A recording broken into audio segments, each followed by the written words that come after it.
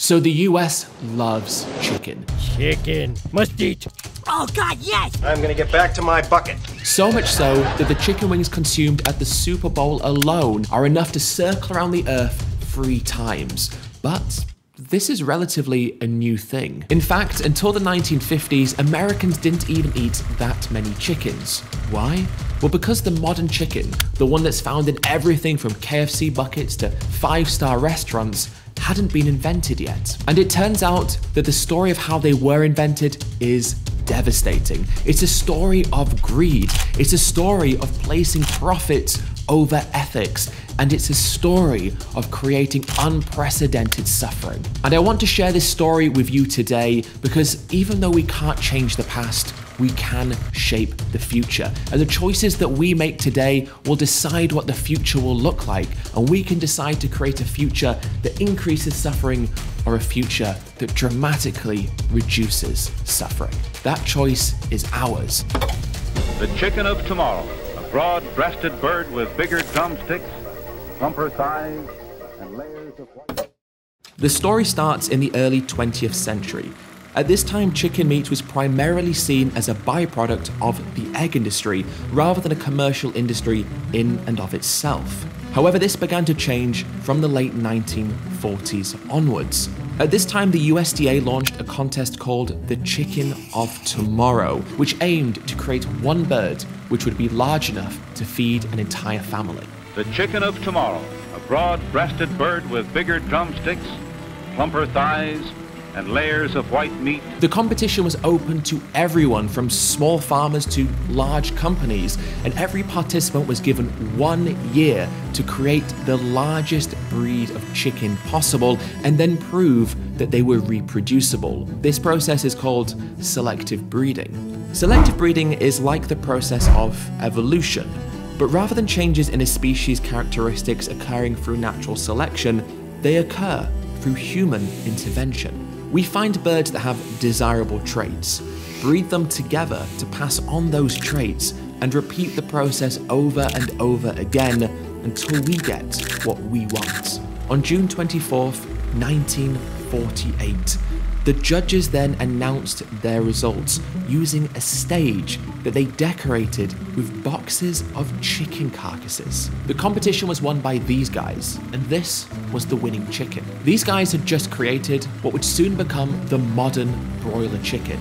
Broiler is the term used to describe chickens that we raise for their flesh, and fast forward to today, chicken farms worldwide are now filled with their descendants. Oh, and they also held a parade. There was even a festival broiler queen. Today, broiler chickens are 400% larger than they were in the 1950s, and the number of chickens slaughtered has since increased exponentially. I mean, just look at this graph. Since 1961, the number of chickens we slaughter annually has increased almost 10 and a half times. The chicken of tomorrow was a complete success. Well, for the chicken meat industry, it was. Now take a look at this study. It's the one that showed that chickens grow 400% larger since the 1950s.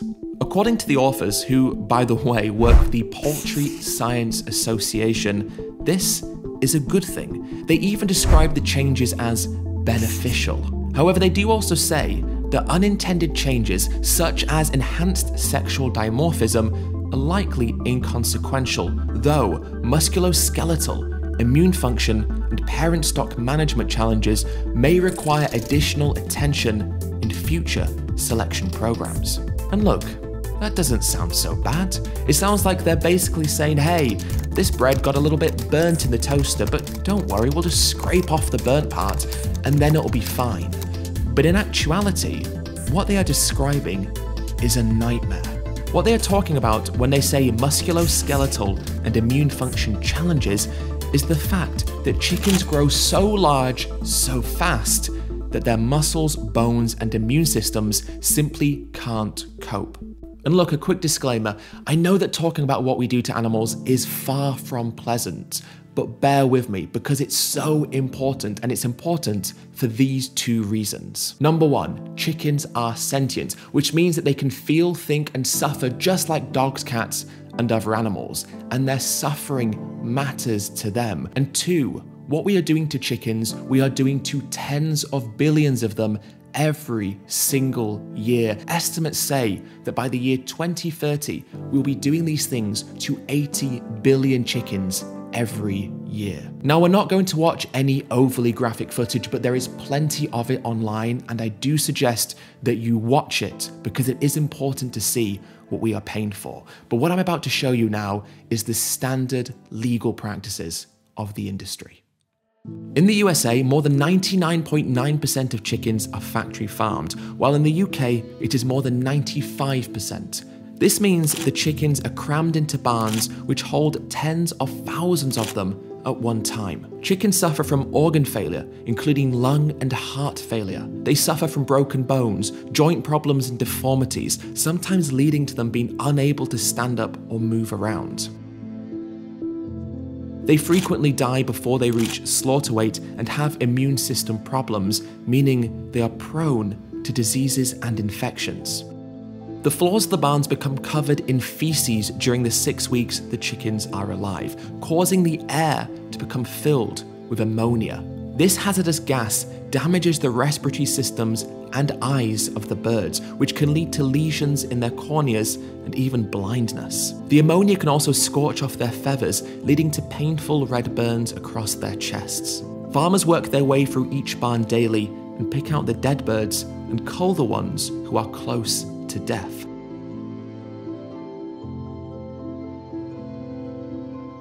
The ones that reach slaughter weight are then killed in one of two ways either in a gas chamber that causes them to suffocate as they convulse, gasp, and panic, or they're shackled upside down by their feet onto a conveyor belt, which then carries them through an electrified water bath that is supposed to stun them before they then have their necks dragged over a rotating blade that cuts their throats.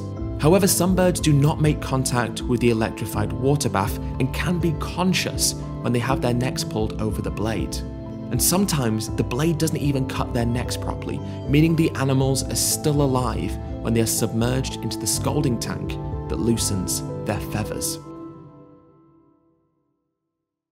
One thing the US is good at is making things big. From food portions to pickup trucks to Walmart, everything in the US is huge. But before the US supersized stores, cars, and food, they supersized the chicken. In many ways, the story of the chicken is the story of the modern US, which begs the question what should the story of the future chicken be? Well, in reality, that's for us to decide. Now, we could do nothing but by doing nothing, we're saying that it's okay to continue increasing the amount of suffering that we cause. And it would also mean that we would leave the lives of chickens in the hands of people like Andre Ford, who came up with the idea of the headless chicken. Imagine if you took Black Mirror and The Matrix and they had this weird kind of illegitimate child. Well, that's what the headless chicken is.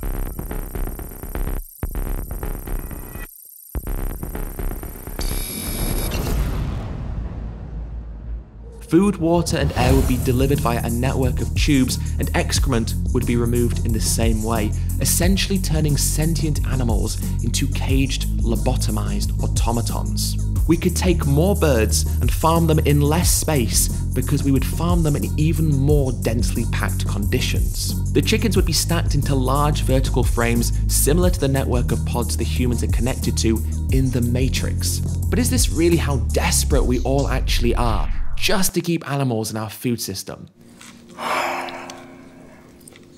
Ignorance is bliss. Today, we already have plant based and cultured meat alternatives to chicken, both of which produce the same taste and texture as live chickens, but without the chickens and all the suffering.